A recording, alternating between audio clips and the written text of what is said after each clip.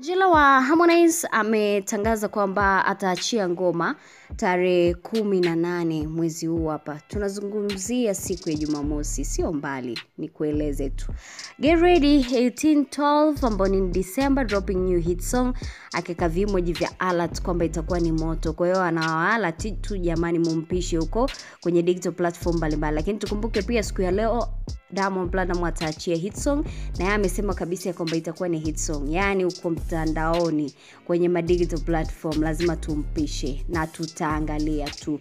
Ndivyo ambavyo Diamond alikuwa ameweza kuzungumza, akapakia vi caption mbalimbali kwenye mitendo ya kijamii, akasema kwamba kama anawaona watu wanavyosubiri ngoma yake siku ya leo, lakini Zuchu naye akasema hashtag kitu itatoka tarehe 22 mwezi wa 12 mwaka huu hapa. Zuchu kuachia ile ya mapiano yake ya hashtag kitu ambayo ilikuwa inasumbua. Si tunanyosha mikono juu, yani tuna sarenda, hatuna la kuzungumza, tutasubiri tuone ipi itakuwa ni kali ya Diamond ya leo. Na tukumbuke Diamond si msanii wa kumshindanisha na msanii wowote hapa kibongo bongo, kwa sababu tayari alishajitengenezea fanbase, alishajitengenezea miles, anaujua mziki, anaujua usanii, amebobea. Tukumbuke practice make perfect.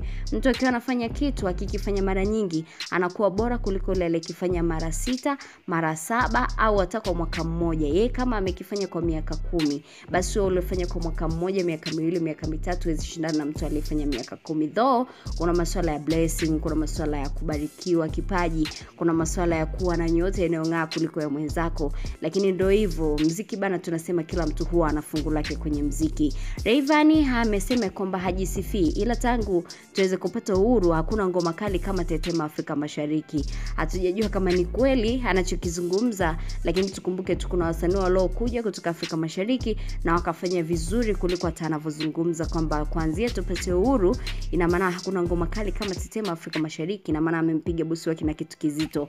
Tunaendelea kudiskasi hiyo story kwa sababu wasanii wanazidi kujivutia kamba kwao, lakini tukumbuke kabisa kwamba kuna yule ambaye alitangulia, alishafanya ngoma nzuri sana mara kibao tu kwenye digital platform mbalimbali, watu wakamfahamu, watu wakamjua kupitia ngoma ambazo alifanya vizuri. Sisi tunasema get ready. The Black Queen anasema tarehe 18 ana jambo lake.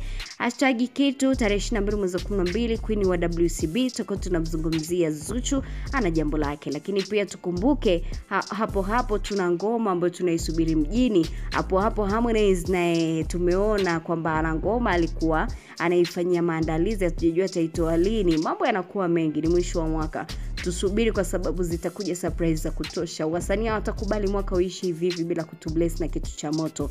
Na si pia tunapenda mziki mzuri, tunapenda amshaamsha, tunapenda watu wasilale, wafanye mziki, wafanye kazi, tuone flavor ya bongo ikiendelea kufika mbali, lakini pia wahakikisha kwamba wanafanya mziki ambao utatuwakilisha kimataifa. mi ni DJ Dodo, subscribe channel to YouTube, tano notification kwa habari kemkem na update, ili wa kwanza kabisa kupata ngoma ya Angela ya Zuchu, lakini pia na uchambuzi wa ngoma ya Diamond platinum Una subscribe una tano notification. Bye bye.